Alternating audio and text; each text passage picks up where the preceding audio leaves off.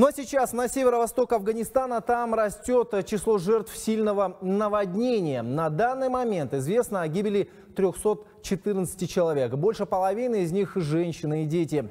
Еще сотни пропали без вести. Больше всего пострадали провинции Тахар, Баглан и Бадахшан. Там разрушены почти 10 тысяч домов, повреждены мосты, школы и медицинские учреждения.